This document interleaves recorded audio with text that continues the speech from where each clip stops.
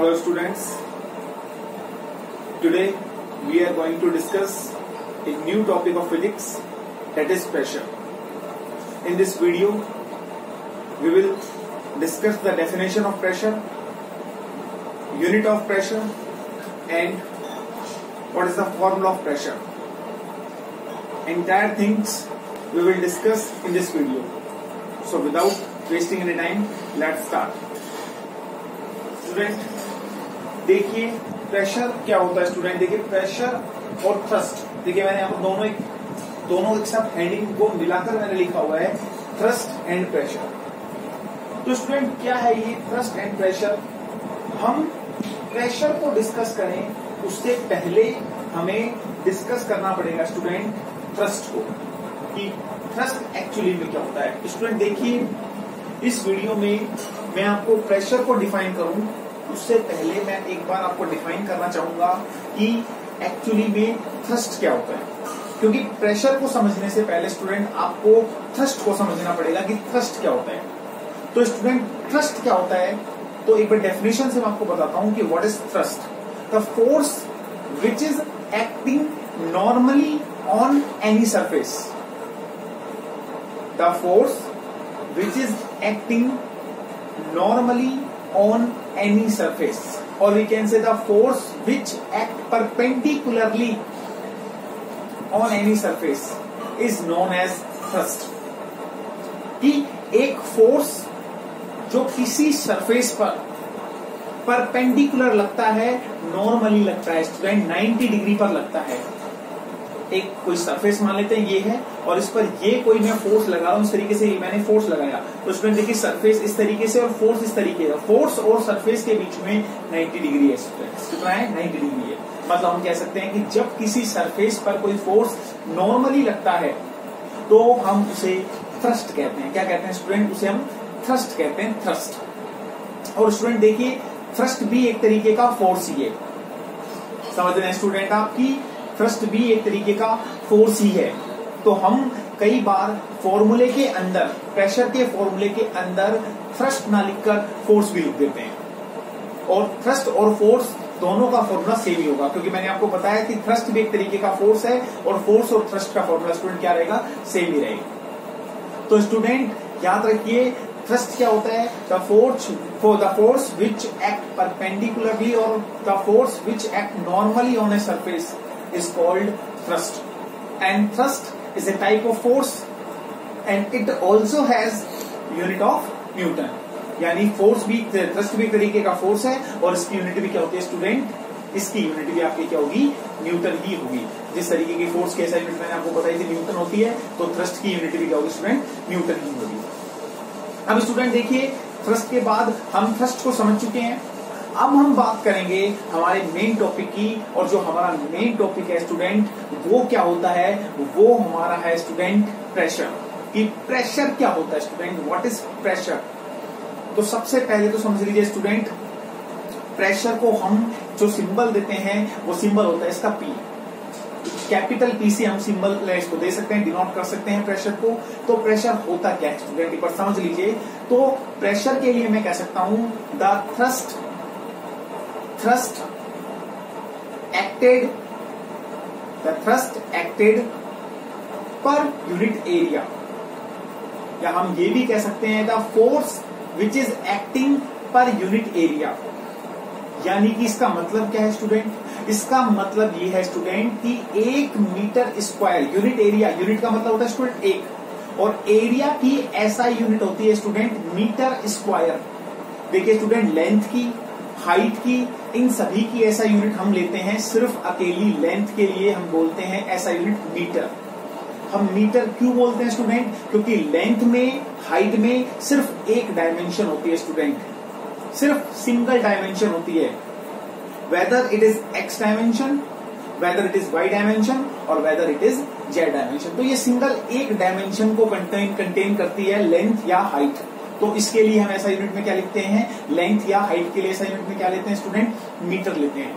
लेकिन जबकि स्टूडेंट जब हम बात करते हैं एरिया की तो एरिया में आप दो डायमेंशन को इंक्लूड करते हैं। एरिया में आपको दो डायमेंशन चाहिए। जब दो डायमेंशन आपस में जुड़ेंगे स्टूडेंट उनको आपस में जब आप मल्टीप्लाई करोगे दो डायमेंशन को तो वहाँ पर एरिया बनेगा स्टूडेंट आप अच्छे से इस चीज़ को जानते हैं। बेसिक मैथमेटिक्स है, आप ये पढ़ चुके हैं।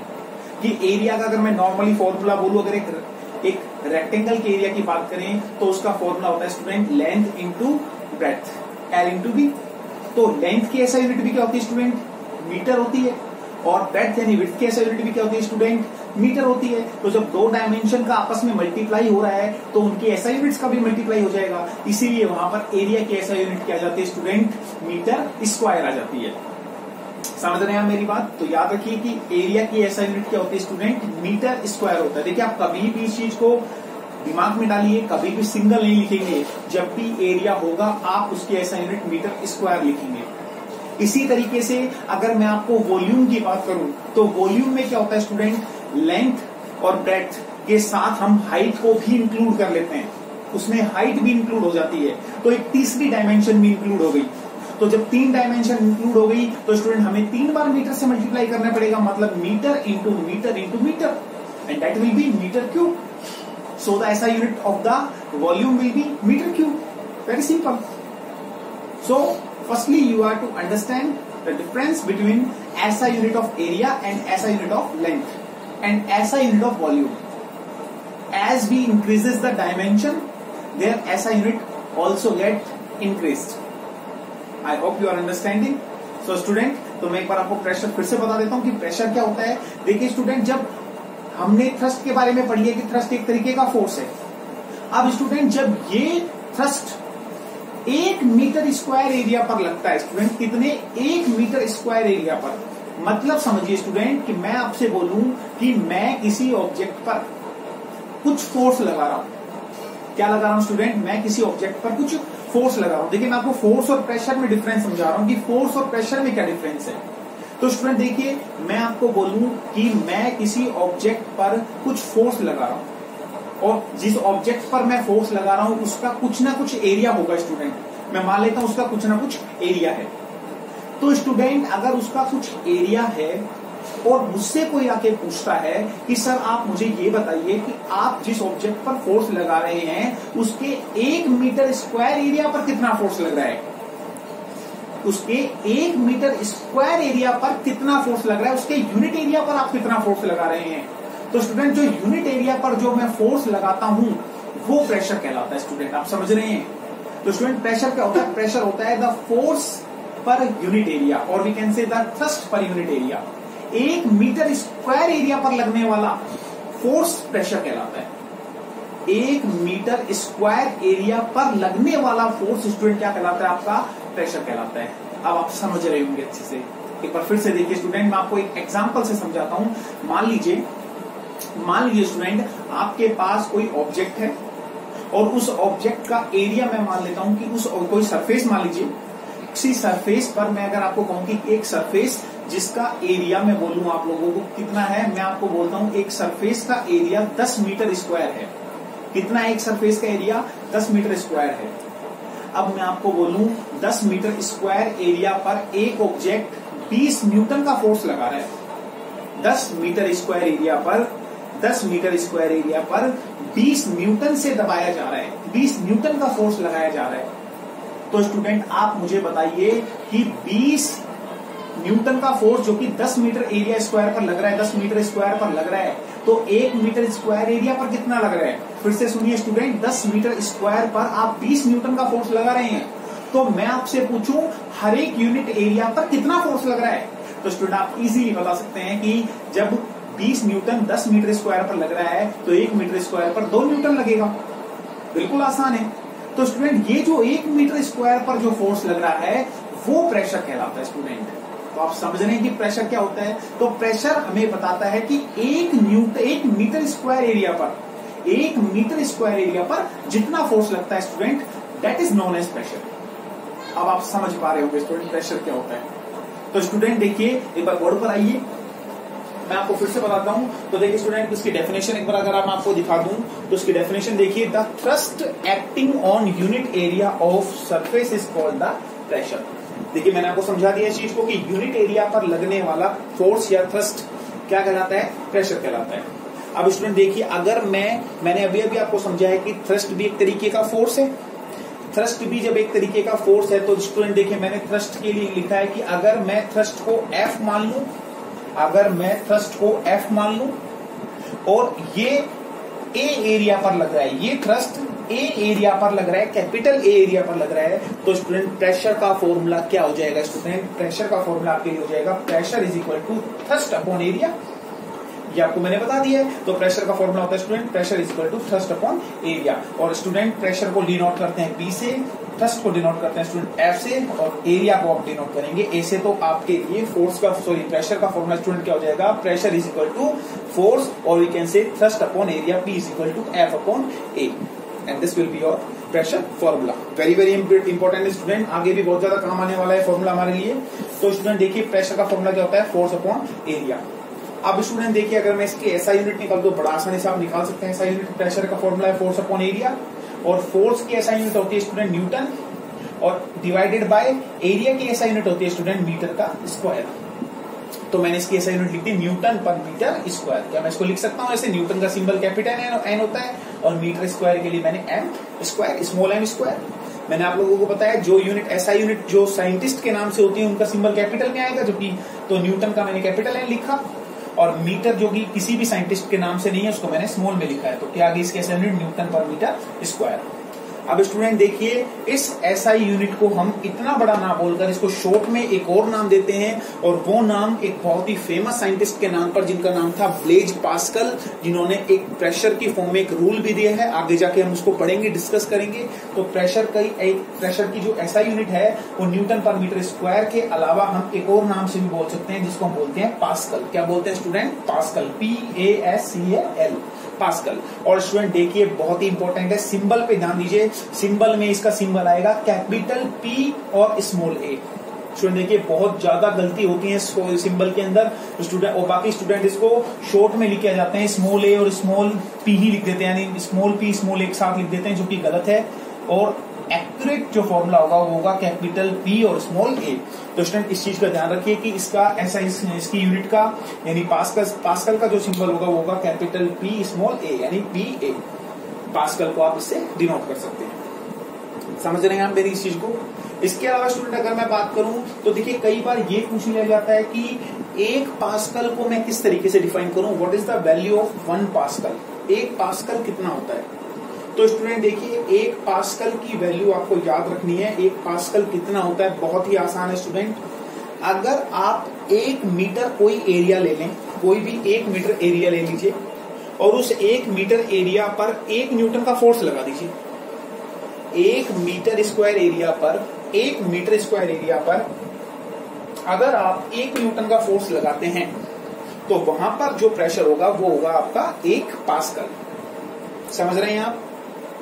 एक मीटर स्क्वायर एरिया पर अगर आप एक न्यूटन का फोर्स लगा देते हैं तो उस वक्त जो वैल्यू प्रेशर की होगी that will be one pascal तो बहुत ही आसान है, एक पास्कल आप निकाल भी सकते हैं। इसके अलावा स्टूडेंट देखिए एस आई भी मैंने आपको इसके एस यूनिट समझाई। अब देखिए स्टूडेंट सीजीएस में भी आपको इसके एस यूनिट आनी चाहिए। तो सीजीएस में इसके एस यूनिट हो जाते हैं student dyne per centimetre square किस तरीके से आती है? बड़ी बड़ी आसान है। देखिए, हमने अभी अभी प्रेशर का फॉर्मूला लिखा है फोर्स अपॉन एरिया तो स्टूडेंट देखिए फोर्स की ऐसा यूनिट क्या होती है? सीजीएस में डाइन मैंने आपको पढ़ाया है कि सीजीएस में फोर्स की ऐसा यूनिट होती है डाइन अपॉन एरिया की ऐसा यूनिट सीजीएस में स्टूडेंट हो जाएगी सेंटीमीटर स्क्वायर याद रखिए सीजीएस में एरिया की ऐसा यूनिट सेंटीमीटर स्क्वायर हो जाती है। तो इसीलिए सीजीएस में आपके प्रेशर की ऐसा यूनिट क्या जाएगी? डाइन पर सेंटीमीटर स्क्वायर समझ रहे हैं आप ये चीज़? बहुत ही आसान चीज़ थी। अब स्टूडेंट मैं आपको यहीं से इस फॉर्मूले में एक छोटी सी चीज़ और, एक्सप्लेन कर देता हूँ। आप चाहें तो इसका स्क्रीनशॉट ले सकते हैं। देखिए आगे चलते हैं। इसको मैं एक बार छोटा सा और समझा देता हूँ। देखिए, इसी फॉर्मूले को स्टूडेंट एक बार फिर से देखते हैं। देखिए, एक बार मैं आपको एक्सप्लेन कर देता हूँ इसी फॉर्मूले को दोबारा। देखिए, एक बार। देखिए स्टूडेंट मैंने अभी भी आपको बताया कि प्रेशर का फॉर्मूला जो है प्रेशर का फॉर्मूला आपका हो गया फोर्स अपॉन एरिया अब स्टूडेंट देखिए, कई बार आपको इस फॉर्मूले को हम इस फॉर्मूले को इस तरीके से भी लिख सकते हैं कि हम चाहें तो इस फॉर्मूले को pressure is equal to force का, हम जानते हैं कि फोर्स का फॉर्मूला होता है मास इंटू एक्सेलरेशन तो हम इसको M into A by capital A भी लिख सकते हैं। मतलब प्रेशर का फॉर्मूला आपका ये भी हो सकता है कि pressure is equal to mass into acceleration by area और स्टूडेंट ये आया कैसे है? बड़ा आसान है स्टूडेंट आप लोगों को पता है कि फोर्स बराबर होता है एम इंटू ए तो मैंने जस्ट एफ़ की वैल्यू इस फॉर्मूला में पुट कर दिया तो ये गया P equal to M A by capital A समझ रहे हैं आप? इसके अलावा स्टूडेंट देखिए, ये तो आपका हो गया प्रेशर का फॉर्मूला जब कोई लीनियर एक्सेलरेशन है। लेकिन स्टूडेंट देखिए, कई बार ग्रेविटेशनल एक्सेलरेशन भी आपका फोर्स क्रिएट करता है। जैसे अगर मैं किसी ऑब्जेक्ट को किसी सरफेस पर रख दू, मान लीजिए, ये कोई सरफेस है इस पर मैंने इस ऑब्जेक्ट को रख दिया है अब स्टूडेंट देखिए, ये जो ऑब्जेक्ट है, वो मूव तो नहीं कर रहा है। और जब ये हॉरिजॉन्टली मूव नहीं कर रहा है स्टूडेंट जब ये किसी रू लाइन में मूव नहीं कर रहा है हॉरिजॉन्टली मूव नहीं कर रहा है, उस वक्त इसके अंदर कोई लीनियर एक्सेलरेशन नहीं होगा। लीनियर एक्सेलेशन मतलब क्या स्मॉल ए नहीं होगा। लेकिन स्टूडेंट देखिए, अगर मैं इस ऑब्जेक्ट को सरफेस पर रख रहा हूँ तो इस सरफेस पर रखते वक्त एक चीज़ ध्यान रखिए कि हर ऑब्जेक्ट के पास कुछ ना कुछ मास होता है। और जब मास होता है तो ये मास होकर ये जो मास है इस सरफेस को दबाएगा। ये मास इस सरफेस को दबाएगा। और दबाएगा तो स्टूडेंट कितने फोर्स से दबाएगा। अब हम इसको फोर्स ना बोलकर अब हम ये भी कह सकते हैं कि ये जो ऑब्जेक्ट मैंने इसको रखा है, ये अपना वेट इस सरफेस पर डालेगा। ये चीज़ मैंने आपको एक्सप्लेन कर चुका हूँ पहले भी कि कोई भी ऑब्जेक्ट अगर आप रखते हैं, किसी भी सरफेस पर रखते हैं तो वो अपना वेट हमेशा नीचे की तरफ़ डालता है। इसका मतलब इसके वेट का फॉर्मूला यानी कि यहाँ पर ये ऑब्जेक्ट अपना मास है इसका कुछ ना कुछ, और ये क्या लगाएगा? नीचे वेट लगाएगा। और स्टूडेंट वेट का फॉर्मूला मैं आपको पहले भी बता चुका हूँ कि वेट का फॉर्मूला होता है आपका W W is equal to M into G और मैंने आपको एक्सप्लेन भी किया है कि वेट भी एक तरीके का फोर्स होता है। इसका मतलब हम इसको ये भी लिख सकते हैं कि F बराबर एम इंटू जी ये मैं आपको बता चुका हूँ कि वेट का फॉर्मूला होता है mass into gravitational acceleration student mass का फॉर्म ये फॉर्मूला हो गया वेट का। वेट इज़ इक्वल टू होता है आपका मास इंटू ग्रेविटेशनल